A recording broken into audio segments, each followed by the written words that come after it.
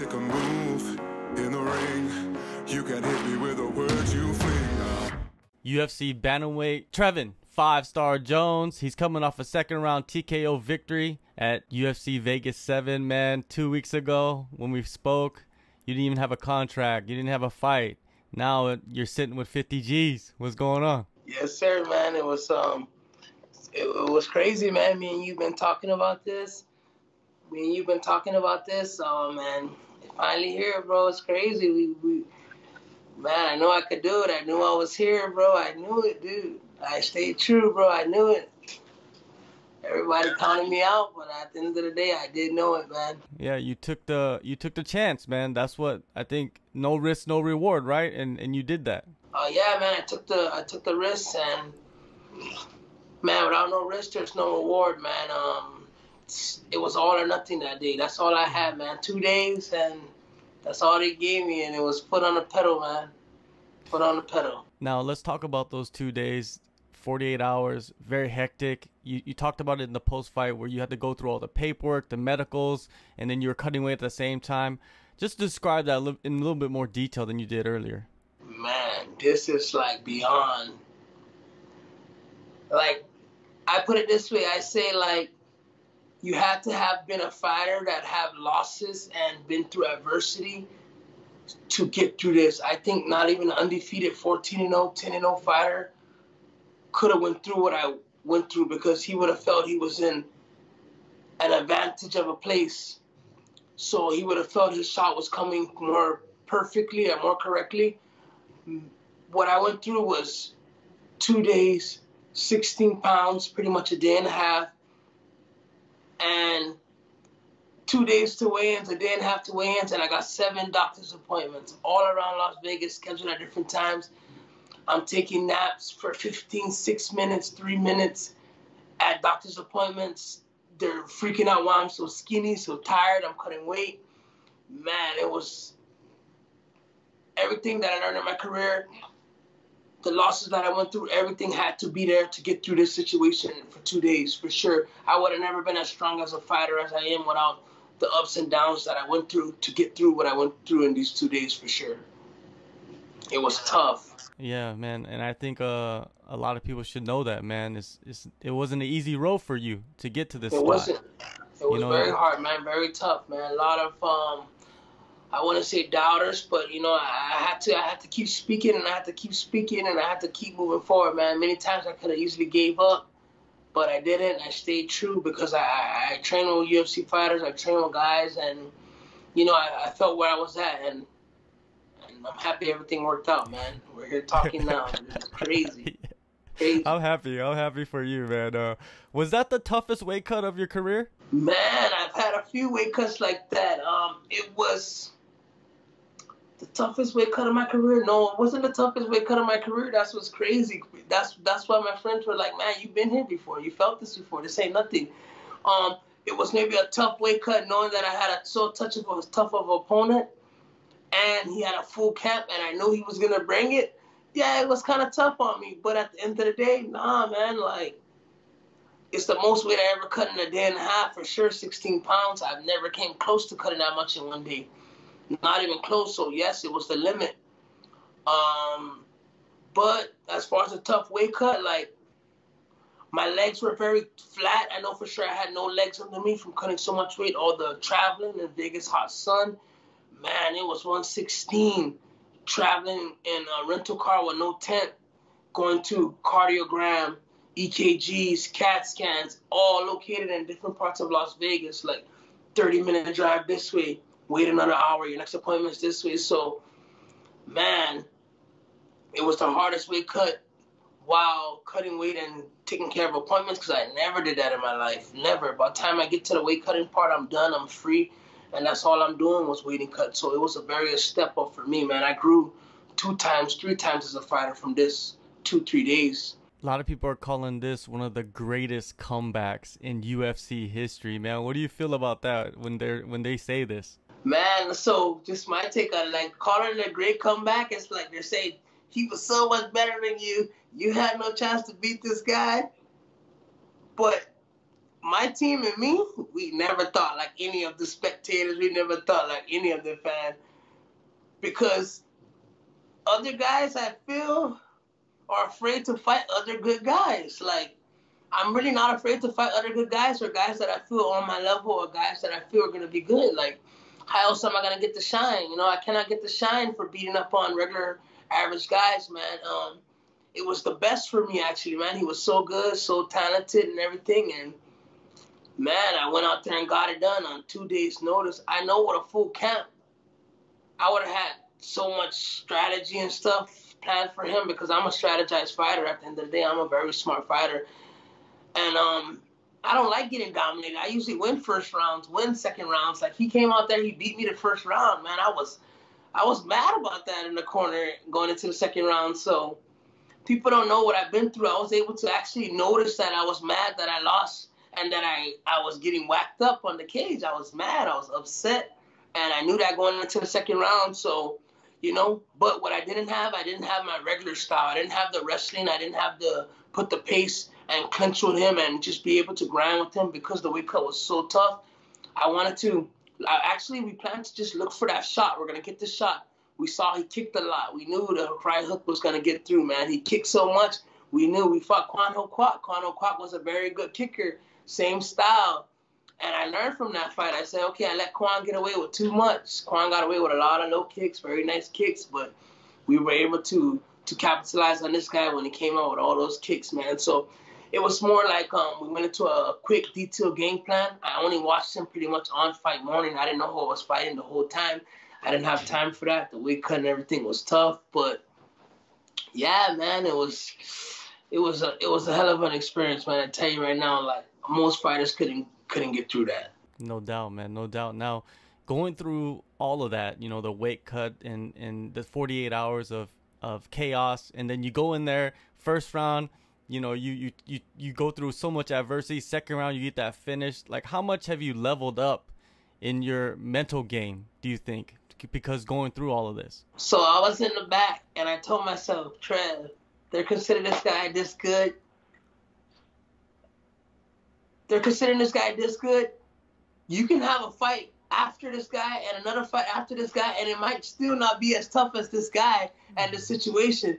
So they put me in a great place mentally, emotionally. They put me in a very confident state right now. Like I'm, I'm always very confident, but now I'm like, I'm feeling good. Like Trev Jones without no nerves is dangerous. Like he's gonna be dangerous out there. So man, if they come out and they give me a a regular opponent again, man, I don't know what might happen to that guy. I'm just saying, like I'm feeling good, I'm feeling confident. I knew my opponents was tough, but we always knew I was tough. Um, I've only been finished one time, and that was also a short notice fight that I took when I was finished. But I always stuck it out. My teammates always believed in me, like Trev, man, you're tough. You've been through all this already. They stuck with me, and man, we just knew that if I just stay focused, got the weight off, that the fight is not gonna be what people are saying. Like we knew that I can take damage. We we trained for this. This is what training's about. And I've been talking about it and I've been talking about it and I've been asking for the fight, but asking for a fight is very different from a full camp, you know, like I was I was semi ready. There's no way I was all the way ready. I was training, I was ready to take whatever, but I wasn't camp ready. I wasn't weight cut ready. I wasn't eating on point every second ready. You know what I mean? So I just had the fire to fight, and the fire got me through that. But now the fire with skills is gonna be. They're gonna see the real Trev Jones next time. They're gonna like him. 50 G's. Does that change? So it does change so much for you, right? It does, man. I you know I help all my friends. I help all my family. I help all myself, and you know we we we, we feed off this. You know, um, just before this fight, I was willing to take a fight for pretty much no money because I know after I was to beat this guy, then they had to call me then because I was looking to put a stamp on it. And to get that fight canceled and get a UFC contract, make 50 G's, take home the two checks. Of course, man, it, it's great. You know, everyone around me, everyone's in, in a good position right now. I can help everyone build. I can help the people around build so they can help build me. So it, it's perfect, man. I, I think I've been working hard for this. I stayed true to the game, and a lot of people say you deserve this moment, you deserve this moment. Sometimes I'll be like, oh, shucks. But this time I really think I do, man. I think I really deserve this moment. Yeah, man, you deserve it, man. You've been through some adversity, and you know I've been with you the whole time, man. I've, yes, I've seen bro, it go yes. through, so Yes, it's all man. good, man. I appreciate you uh, showing me love by giving me the interviews and all that. That's why when you Um, called me for that day one interview, I wanted to get you on first, man. I wanted to get you that interview first. I wanted to be let out and, and heard from from from your uh, website first. But you know, Guam called me. They Yeah. called me in the regular news, so you know I, I took up on that because that's where I'm from. But I wanted to definitely get you on the interviews first, man, for taking care of me and keep getting get, getting me to speak to people through your website. No doubt, man. You got to give love to Guam, man. That's your spot. So you know, sure. it, it is what it is. For now, sure. what what's the plan, man? You gonna stay in Vegas? You gonna go back to Guam? So I go back home next month, but right now a lot of uh, decision making and, and thinking has to be done, man. Um, right now I go back home next month on my original ticket schedule, and I'm gonna settle in. I'm gonna get everything in. Of course, I'm still gonna train there, but right now I have to figure a lot out. I have to figure out if I'm gonna make the move, train back and forth. But I know for sure I'll still be training out here 100% for a full UFC camp, no matter what. Whether I'm starting on Guam and coming out, I'll be out here training. Like, um, I know my manager and them are trying to send me to American Top Team and some other things they're setting up. So we're looking at a better Trev Jones to come. You know, more complete, more, more uh, resources around me now. Like you said, the money is definitely going to help resources and build the game. So, yeah, man, I'm looking to get it on, man. I'm excited. I'm excited for the future. You feel like maybe I should go train at other spots like American Top Team and Oh yeah, oh yeah, um, man. There's some high level guys. hmm There's some high level guys, man. You, we're in the big league now, man. I can't, I can't just say, oh, Trev, you got enough to beat these guys. I know I have the heart. I know I have the skills. I know I have the potential, but I still got to put in the work. I got to always put in that work. So I'm looking to go take my lickings. I'm looking to go get beat up everywhere because when I get in there, I only want to win, man. I'm only there to win. And and that's what's crazy because I told my corner man, I said, man, the only thing killing about this fight, this guy's he's good, he's good, but guys, I don't only want to go in there and say, oh, you got in there and you fought in the UFC and you got out. On my debut, I said, guys, I need to beat this guy on two days' notice. I need to win. I told him, I, I said, I need to win. If I don't win, it's not gonna be the same. I said, I need to win. So when I got in there and he, and he, and landed a good push kick and he did what he did, I just stayed focused, stayed calm. Um, one of my friends had fought in um in Saipan one time and he got hit with a body shot and I saw him sit on the cage and as the ref went in to stop it, he hopped off the cage real quick. So it's just experience, man. I watch fights and stuff too. I saw him do that. I did the same thing. I was I was caught up. I realized I'm okay. I came back out there. The fight continued. I took the beating, covered the body, let him get some shots to the head, made sure I watch out for the knee down the pipe.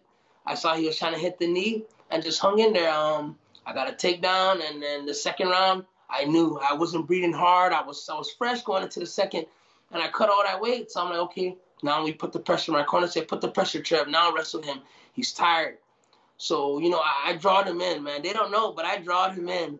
I drawed him in. I let him work his energy down. We knew that. We knew we didn't have the energy to match him. Already, his fighting style was very explosive and quick.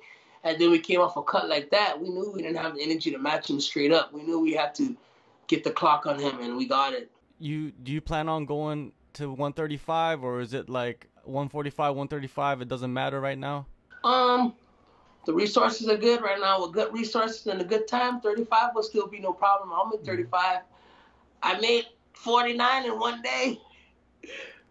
I made uh 39 in one day, 16 pounds. That's about what I cut to 35 with the week's notice, with two weeks notice. So it's about the same cut. Usually when I'm cutting to 35 on Monday of the fight, I'm like 150 maybe. And then if I'm anything above 150 is hard. Anything below 150 is easy. So I cut usually like 15 pounds in three, four days, weighing on Thursday, fight on Friday. This one I did 15, 16 pounds in a day and a half. So I'm confident I can go to 35 with no problem. Um, 45, it was to get in. I was willing to do 45 to get in. If they needed me for that, they needed me for that. But you know, we can do 30. I told them I'll do 35 for the UFC all day. Well, going through everything that you went through and, and performing the, the the way that you did, I'm pretty sure the matchmakers they love you right now. Who who who do you want to fight? I'm pretty sure when you were sitting on the outside looking in, you you saw 135ers and thought like, man, that's a good matchup. I want to go in there and fight this guy. Who do you think you know you might have a choice right now? Yeah, I did, man. Actually, I this guy that I just fought was pretty good, man. He yeah. was damn good. So the guys that I used to look at that I want to fight weren't as good as him. I know they weren't as good as him, so I'm feeling like, damn, Trev, who do you need to fight now? I feel like I need to fight a superstar now. Because he has so much, everything. Uh, man, the things I was hearing, uh, you find a good guy. You know, I got friends. I'm in the game, and, and I know people that know him too. And they, he was a well-respected opponent coming from all the miles I heard. So, man, who do I fight next? That's up to the UFC. But I would expect it to be a pretty good name after beating that guy. I don't think they want to give me anyone too easy, man. So we'll see how it goes. I'll be willing to take whatever fights, man. I'll step up for the cash, bro. I'll step up. I'll step up. You don't see any like veterans, you know, some big names. They they might not be ranked, but they're big names because that's what you probably want in your next fight, right? You you you took mm-hmm. out you, you took out a prospect, a major prospect. Now it's like you gotta get your name out there a little bit more, right? So, do you see anybody? So what it was is, I had this plan. Like, if you're a badass guy and the UFC wanted you, they and they wanted you, you know, you can negotiate. Now you can you can make your contract. You can set the tone. You can not go in on that starter pay. You know what I'm saying? But since I have my losses or whatever, they're like, you kind of I gotta take whatever they give me, you know. But after that win versus that guy, I'm like, TJ's worth a little something now. TJ's worth a little something now. So um, yeah, um, I would like to renegotiate that contract. That's what I want to do. I want to negotiate that contract, and then if I renegotiate that contract, and you want me to fight tougher guys since my money's better, no problem. But if I'm gonna end up staying on the same contract, then of course I would like to build myself against guys because no matter what, it's gonna come my way. I want to make it to the second contract, the third contract, the fourth contract, the UFC title, the UFC Hall of Fame. There's a new set of goals now, man. That's the thing. I'm gonna keep setting goals on these guys, man. Um, these guys don't know that out there. I'm so happy because I didn't show half of my real game, man. I didn't implement my real style at all. I'm very happy about that. They don't. So when they see me in my next uh, fight, I'm expecting to get another bonus, man. I'm expecting to be surprising. So I'm excited, man. I'm gonna, I'm gonna put them put some ground game and some work on these guys, man. I, I think they got holes, and I think I can really exploit them there as um well camped and as hard going as that guy went. I got that takedown real, real easy. I noticed that. I was like, wow, that I had a hard time getting takedowns in smaller leads, man. Like hard time. Like guys will fight me I got that takedown real easy. So I was like, okay, maybe these guys that are so good got a lot more openings, you know. So we'll see, man. There's gonna be a lot of tough matchups to come. Of course, a lot of tough guys. I respect a lot of UFC fighters, whether I say what I say or not. Like I, I, I respect these guys. I know how hard the game is.